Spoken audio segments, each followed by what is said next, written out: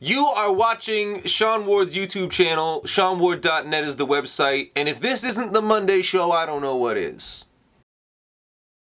So here's what's going on in the world is there's a big hurricane that's about to hit the Canadian East Coast and so I thought it would be a good time to take a look at the top 5 or bottom 5 depending on how you look at it worst or best Canadian hurricanes this is in chronological order, not not uh, damage order or anything like that. But the first was in 1775 when Newfoundland was hit with not only the first recorded hurricane on Canadian soil, but also so far the deadliest, killing 4,000 people. Now you gotta wonder, had they never bothered to start keeping track of this stuff, would it ever have occurred? What's the cause and effect there? Ooh, we'll never know. And then there was a lull from 1893 to 1938. They didn't see any action. But then on October 8th, 1939, a Category 1 hurricane hit the East Coast hard. Then in 1954, Hurricane Hazel hit not only the East Coast, but came in as far as Ontario. Now check this out. It leveled 20 bridges. This is on Ontario now, where we're not prone to natural disasters.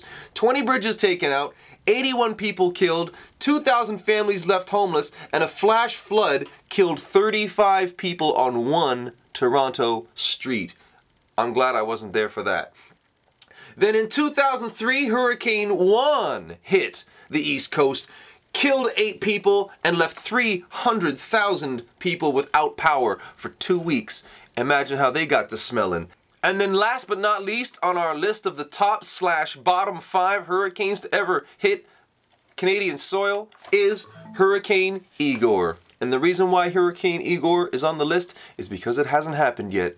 And that means that history is in the middle of being written, carrying the potential for both the best and the worst of outcomes. Let us dream wistfully for a moment of what could be. Lots has been going on in the past week. Now, last week on the Monday show, you saw that I was uh, lucky enough to be able to attend a couple of Toronto International Film Festival parties. Well, this past week, uh, I got to not only attend a couple of more parties, but actually attend some screenings. So check those videos out. Uh, click on these boxes right there. Those two boxes. You good? Click them. Come back. All right. And then uh, the last of those two screenings that I got to attend was the gala premiere for Beginner's Guide to Endings. Now, um, I've always wanted to go to uh, one of the gala premieres for the Toronto International Film Festival. Who wouldn't? Get dressed up, the stars are out, it looks like fun. So this year, uh, was the first year that I got to do it. So thanks very much to Michael Noose and to ClubStellaArtois.com for the hookup on that one. And uh, meeting Harvey Keitel and uh, Tricia Helfer and uh, Paulo Costanzo and Jonathan Sobol, who's the director of the movie. Um, getting to meet those people and to hang out was uh, so so sweet and so fun especially in light of how bloody good the movie was. So definitely check out my uh, review of that movie with Michael Noose. It's in the video of the night that we went to the premiere. And uh, that's about it for right now. Tonight I'm going to see a advanced screening of a new movie called Catfish.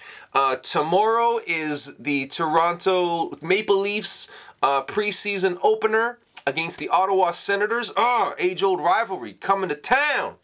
And uh, yeah, just uh, keeping it hot, keeping these videos rolling for you. So thanks so much for dialing it up and tuning in and clicking the links and coming to see me. Um, you're who I do it for. So you keep watching, I'll keep making them.